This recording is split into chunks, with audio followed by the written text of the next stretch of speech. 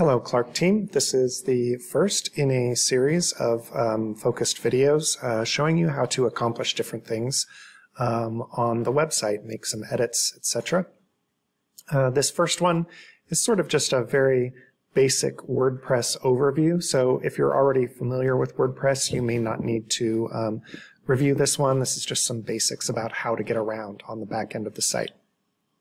This is the view of the dashboard. Um, as you can see, that's what's highlighted here in the menu on the left. This down the left-hand side is your main menu for getting around uh, and editing different pieces of the site. This is where you'll land when you first get logged into the site. Um, I don't think we're going to bother covering too much here right now. I, I, will tell you that these things can be moved around uh, and they are specific to your view. Um, so if you do end up wanting to use these things, you can rearrange uh, where these items show up, uh, organize them differently. The main piece I'll show you here is that this is where the tutorial videos will live. Uh, this first one that shows up here is just sort of a, a generic WordPress um, overview. I don't know, you may want to look at that at some point. As I start adding the videos, including this one, there, this will add a scroll bar here and you'll be able to scroll down and see them all um, in this list. Um, so this may be one that you want to move, you know, right up top here, especially when you're first uh, learning how to get around in here. Um, I do like to keep a tab open for the front end and the back end so that when I'm making edits, uh, I can easily click over here and see if the edit is uh, has taken place or not, uh, see what it all looks like. Um, the items that you will mostly be using here, uh, at some point we'll be adding events, and that's where that will live, is right here. Uh, but we don't have that just yet. So mainly you'll be dealing with careers, activities, calls to action, guides, videos, games, books, scavenger hunts, and glossary. So you're pretty much focused right in here, and, and pages is the other one, uh, which is how you edit the pages on the site. So um, a lot of this stuff further down you don't need to worry about. Uh, you know, and some of these items up here we won't be using either. For these items that I just mentioned over here, pages, careers, activities, etc., the view for those is very similar.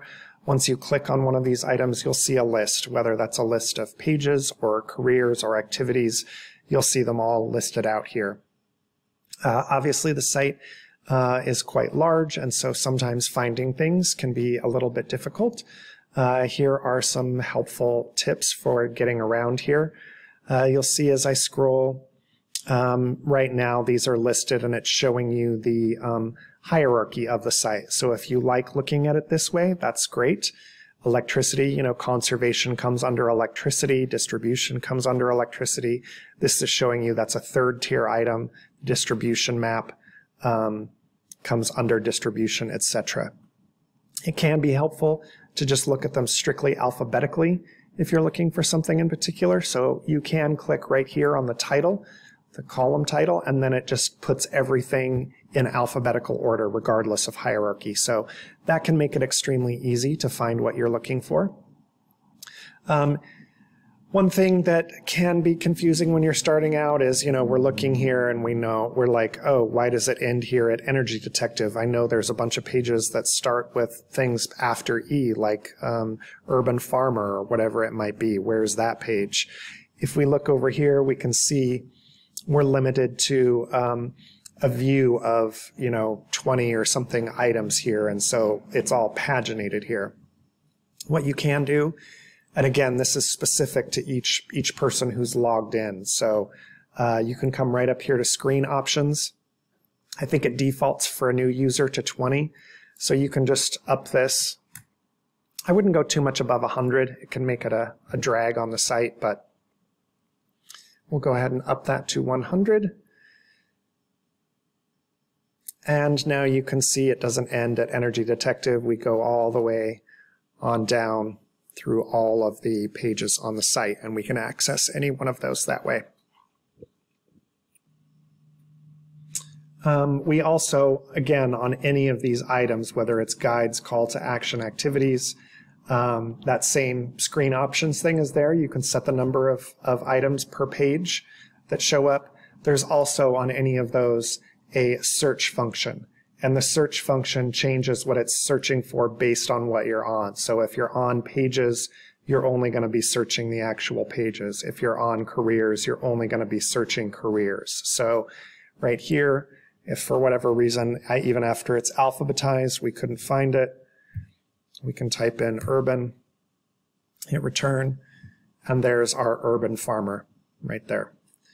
Uh, you can also um, sometimes, you know, the for whatever reason, maybe the page name in the back end isn't exactly a match for what's on the front end. You can also just come right here and go to whatever page it might be that you're looking for, find it on the front end, and then you can hit edit page right here on the front. Uh, can make it very easy to find your page that way. I think that is it for our very basic overview. Again, when you land on the dashboard, uh, you can find your tutorial videos here, including this one. There will be a scroll bar here after we add more, and you'll be able to see those uh, come up in this window. Uh, when you are on pages or guides or anything, you can change the number of items per page right up here under screen options. You can sort these by their name, by their publish date, by who created the page, whatever that might be. And you can also find the page from the front end and then click edit page right up here in order to, um, to edit the page that way. Thanks so much.